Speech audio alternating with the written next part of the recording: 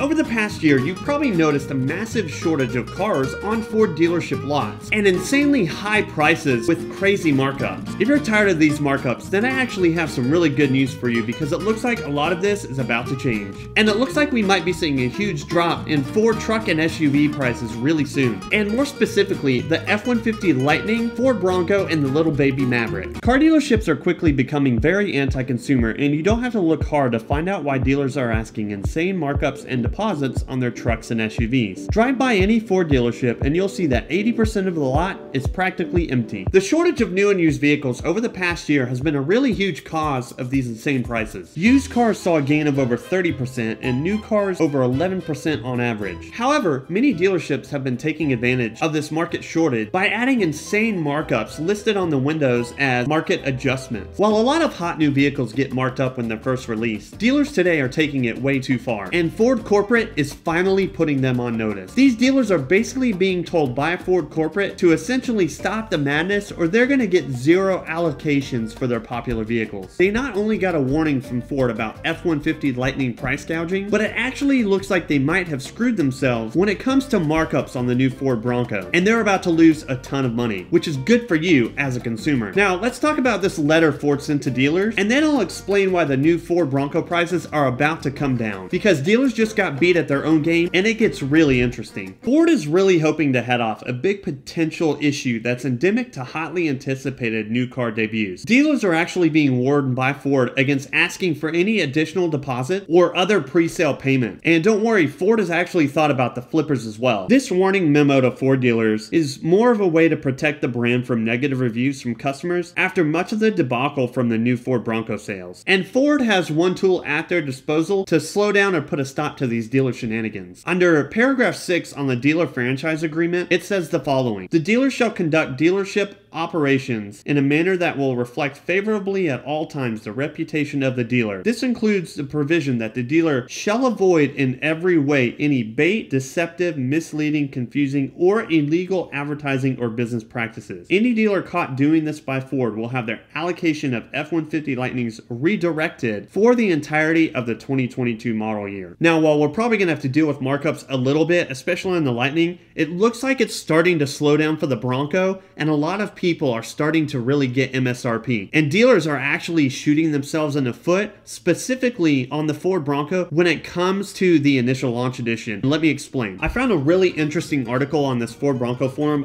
bronco6g.com, and this is insight from someone who's really familiar with dealer auction pricing and things like that. It says the first edition Bronco will go down in US history as the first American vehicle to beat them at their own game. Dealers who bought and overpaid for these first edition Broncos are about to lose a ton of money because nobody is going to pay what they're currently asking. First editions are going for like a hundred grand or more. I found a Bronco, a 2021 Sasquatch for 97,500. I found a two-door first edition for 86,997 on eBay. Another four-door with like looks like a little bit of a lift and a winch and a couple like wheel and tire mods for $112,000. And then the final nail in the coffin on this first edition markup insanity, a 2021 yellow first edition for $131,500. And there's been post after post of Ford just pumping out these Broncos like crazy and looks like thousands in pictures lined up waiting to be delivered to customers. So with all these other ones being delivered, there's no way dealers are going to get what they're asking and what they even have in these first edition Broncos. So diving into a little bit more of this info and why Bronco prices are coming down, here's something really interesting and I'm reading it directly from this article. The dealers screwed people with deposits, ordered cars in friends' names and all their normal shenanigans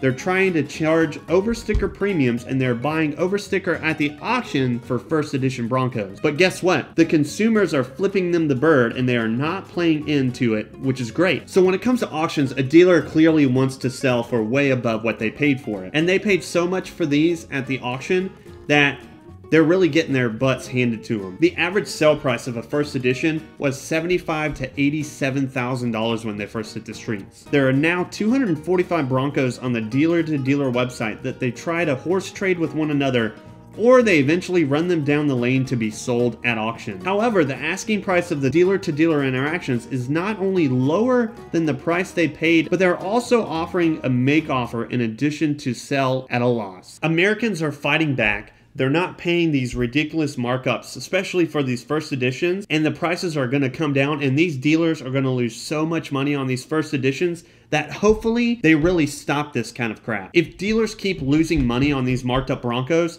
then it will eventually just stop. And in the end, this is all good news for the consumer. It looks like Ford Corporate is finally trying to get rid of these anti consumer practices that all the dealers have been accustomed to and really have been running rampant the past couple of years specifically. So, as more and more of these cars start to come back on dealership lots, and then you're going to the dealer again and they're going to have a little bit more inventory. It's going to be a lot more consumer friendly as time moves on. And hopefully by summer, you'll be able to go back to a lot get the car you want and not have to pay a dealership markup. What do you think in the comments below? Do you think these dealerships are really going to have their butts handed to them when it comes to price gouging? Or do you think this is going to continue and they're going to find some other way around it?